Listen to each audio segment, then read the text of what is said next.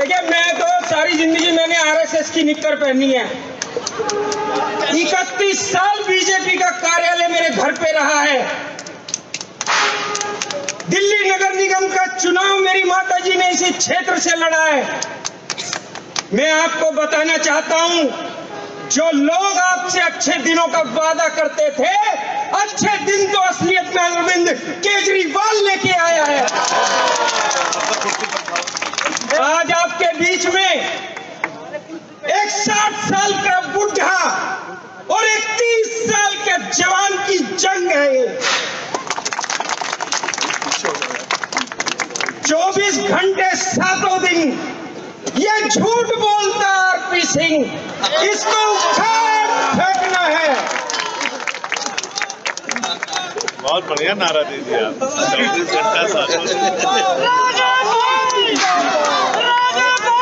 जिंदाबाद। विकास के नाम पर विनाश की घोर राजनीति करने वाले आरपी सिंह और भारतीय जनता पार्टी को इस चुनाव में उखाड़ फेंकना है। कोई सोच नहीं सकता था मित्रों। एक समय के बिजली सस्ती हो जाएगी। पानी फ्री मिलने लग जाएगा। महिलाओं को मुफ़्त बसों की सुविधाएँ मिल जाएँगी। सारी समस्याएँ दूर हो जाएँगी। एक दिल्ली का लाल मेरी आपकी तरह पढ़ा लिखा एक नौजवान आता है और देश के सारे राजनीतिज्ञों को उनकी औकात दिखाता है अरविंद केजरीवाल उस लाल का नाम है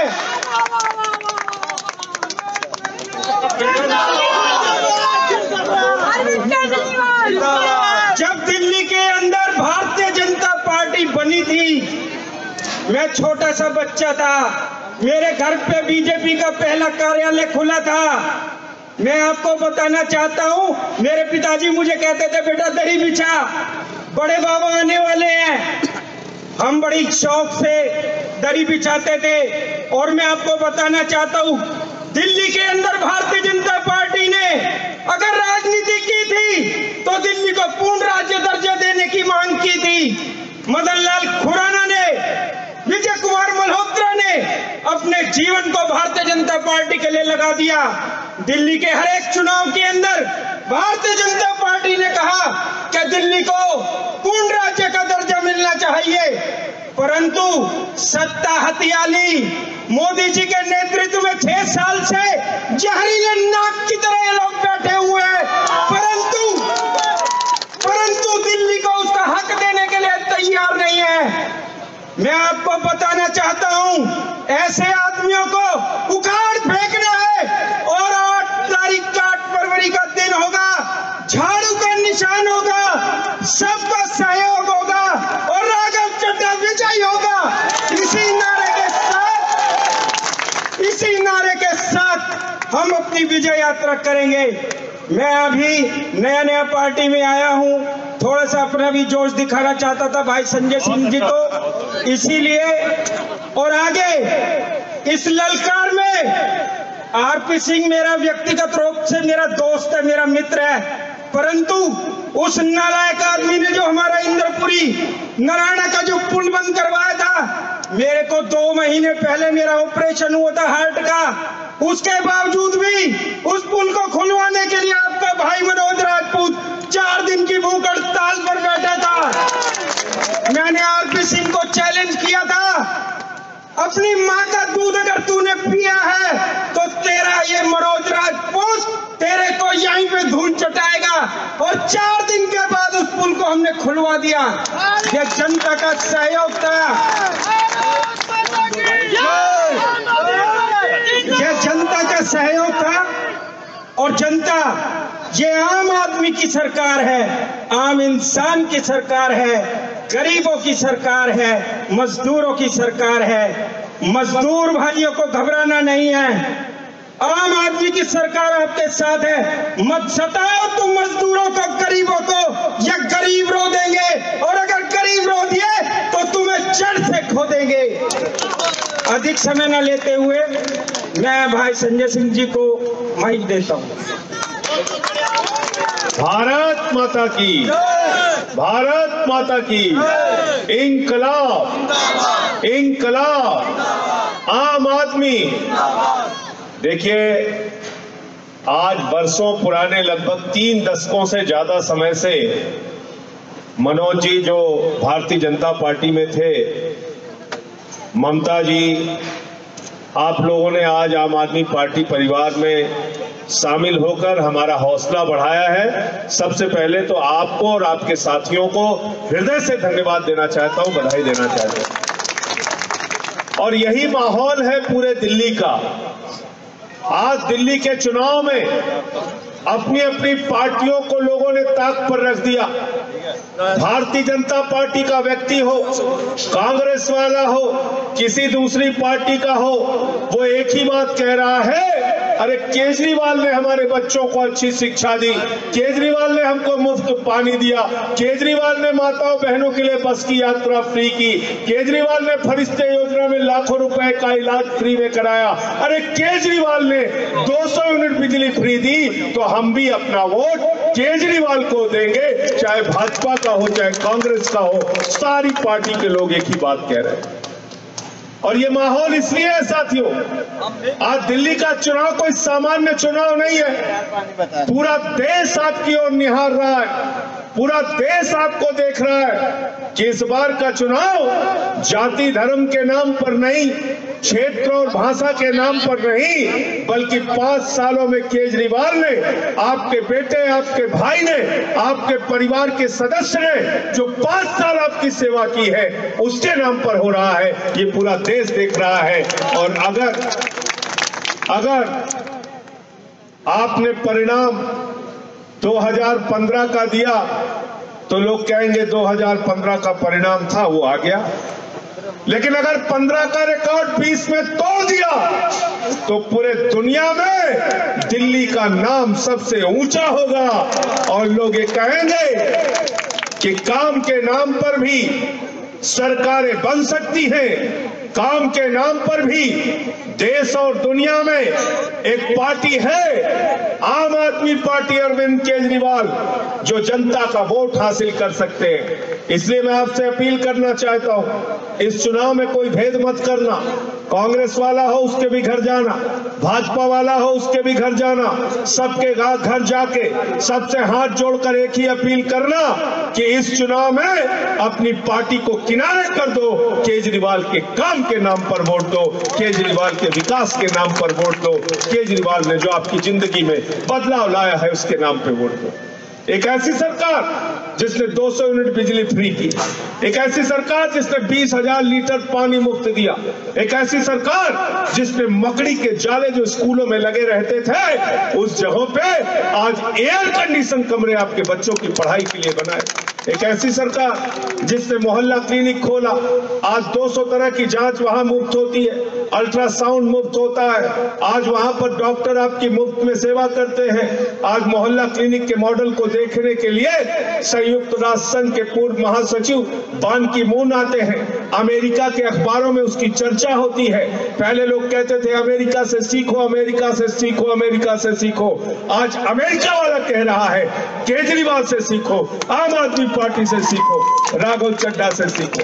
इसलिए साथियों दोस्तों इसलिए साथियों और दोस्तों मैं आपसे कहने के लिए आया हूँ कि इस बार के चुनाव में जब अपना वोट देने के लिए जाना तो केजरीवाल जी के कामों को याद कर लेना।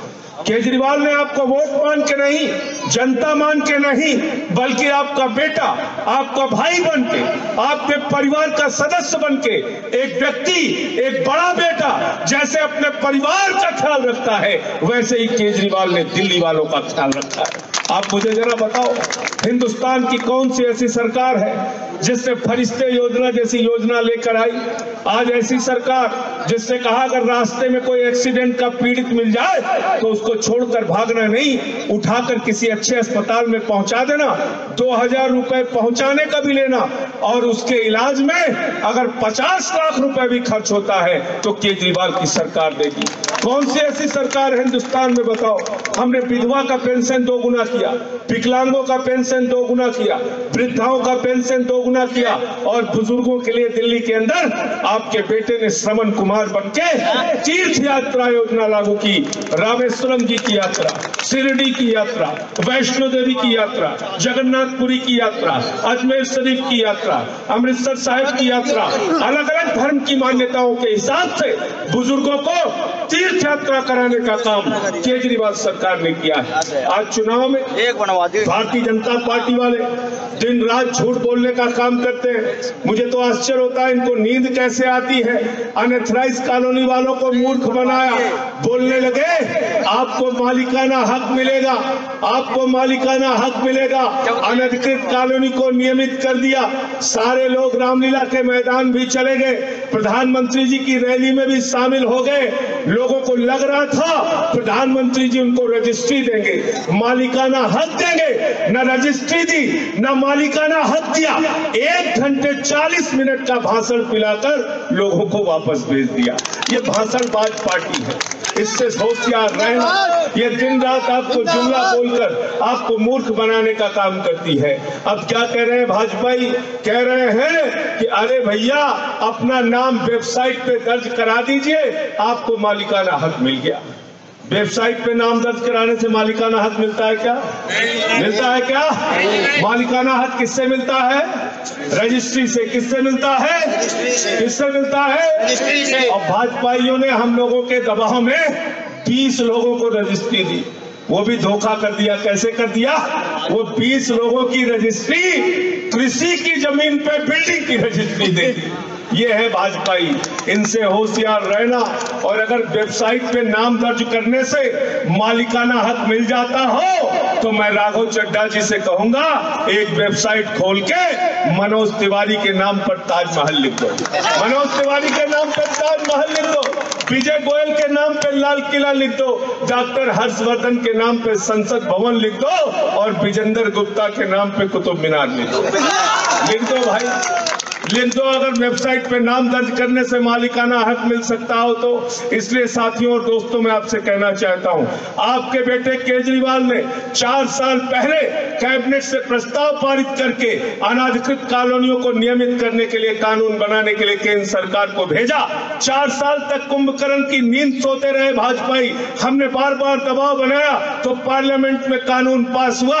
अब मैं आपको भरोसा दिलाता हूँ कह के जा रहा हूँ, आपकी अनाधिकृत कॉलोनियों में मालिकाना हक और रजिस्ट्री अगर कोई दिलवा सकता है तो उसका नाम है क्या नाम है ज़ोर से बोलिए ज़ोर से बोलिए हाथ उठा के बताइए। इसलिए चिंता मत करना, उसको भी पूरा करेंगे। उस काम को भी पूरा करेंगे। इसलिए साथियों और दोस्तों, आज एक होन यहाँ, एक होनहार, एक नौजवान, एक पढ़ा लिखा व्यक्ति आज आपके बीच में। भाई राघव चड्ढा जी यहाँ से यहाँ से प्रत्याशी है आम आदमी पार्टी के।